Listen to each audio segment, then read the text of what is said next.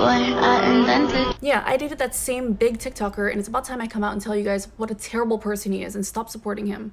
I just want to say that I've been in entertainment for 11 years. A lot of you already know who I am, and I've never spoken publicly about anyone that I've dated. But I have to do this one because it involves lying, manipulation, STDs, putting women at risk, and racism and not to mention misogyny. Reed and I met six months ago in August, but we only started dating the last two months. We broke up two weeks ago. He dumped me because he said I had trust issues. But His whole career, he's always said that he's a good man, uh, loyalty, integrity, morals, honor, all that. He preached it so hard, especially in the last two weeks since our breakup.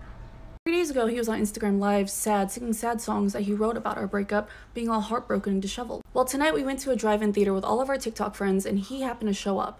By some miracle of God, my car gets parked right behind his. But when I pulled up, I saw a second shadow in his passenger seat. Part 2 coming.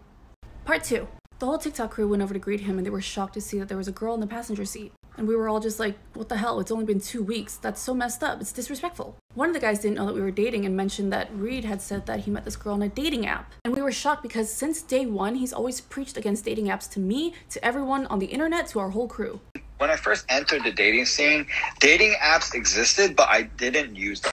Like, it promotes weak men in a way. This is when the hypocrisy and the lies started coming out. I hopped on Hinge and found him within 10 minutes. Then I was sent a TikTok that his ex-girlfriend made, referred to part one. That's a video that I stitched. I remember him briefly mentioning this TikTok saying it was just a crazy girl he hooked up with a couple times and she got obsessed with him and tried to cancel him. But something didn't seem right, so I messaged her on Instagram. I told her how he ghosted me and how he didn't believe in dating apps. Look what she said. Pause to read. He met her on Hinge. He met another girl that he cheated on her with on Hinge. And then I get into a group chat with the both of them, and this is when things get crazy. Part 3 coming. Part 3. Now we're in this group chat and we're comparing timelines and lies. After meeting Michelle, he decides to dump Paula, saying that his grandmother might have cancer. She didn't. After Michelle found that TikTok, she dumped Reed. The next few months, he starts working with a very big TikToker from the Philippines. You guys know who she is? I'll just call her Ashley. He and Ashley start liking each other and they start seriously talking. So about three months have passed and now we're in August. Reed randomly shows up to Michelle's place with a promise ring asking her for a second chance, and she takes him back. So now he has a girlfriend, he's talking to Ashley, and then he meets me. Now, we didn't date in August, but our flirty on camera chemistry made viral videos like the Yakuza series. Michelle was really concerned because she was afraid that he would cheat on her with me. But he told her that I knew that he had a girlfriend. I didn't. He never said anything. But now that he has me, he doesn't need Ashley's following anymore, so he ended it with her, but saying, let's not close the book yet. So let's add Clout Chaser to his list of sins. Part 4 coming up. Part 4. Some of you are saying I'm just mad because I got dumped. I'm a big girl. I've been through breakups before. I can handle it. If this just involved me, it's fine. I can handle it. But this involves the people that I work with, the people I care about, and the mental and physical health of the girls he takes advantage of. So let me continue. So, about a month after he shows up at her door, Michelle dumps him because of trust issues, of course. Now, this is where my part comes in. Reed and I start dating around the end of December until the end of February. For the most part, it was fine, but for some reason, I couldn't bring myself to fully trust him. Nothing too crazy happened in our relationship. It wasn't until after we broke up that things started getting really crazy. One of our mutual friends told me that he once admitted to sleeping with over a hundred women. And so I freaked out and I went to go get a full STD screening. And a few days later, the doctor's office calls me and tells me that I need to come in to see my test results. Part 5 is coming. Part 5? I'm gonna be honest, I didn't want to go public with this before because, you know, people break up, they cheat, they lie, whatever, it happens. But what happened next really pushed me over the edge. I'm now rushing to a doctor's office, seething with rage, and I couldn't see straight. Chlamydia. He gave me chlamydia. Curable, thank God. But it gets worse. I remember a few months ago he was getting cancelled for being misogynist by an account called You're Funny Uni.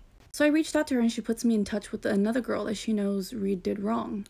Let's call her Penny. Penny told me that she and Reed hooked up from November to December and he treated her like a piece of meat and was pretty disrespectful. After Penny cut him off, she went and got tested and tested positive for chlamydia, so she calls him to let him know. This was January. I was with him in January. He responds with this pause to read it. So he knew. He knew he had chlamydia. And he still slept with me and never said a single word about it. Part 6 coming. Part 6, let's go into some details. 60 seconds isn't enough for me to tell you how many lies he's told, so I uploaded a Google Drive with all the screenshots to my Twitter. Now, on to the other stuff. Listen, I grew up in Xbox lobbies, so I don't really get bothered by what people say. But I've had to check him so many times for saying the N word, hard R, a lot. In fact, multiple people had to check him. He also always talked about how women are lesser and how fat people are disgusting. And honestly, I let these jokes slide because, like I said, I have thick skin and I don't really care, but I really truly feel like he believes these things that he says.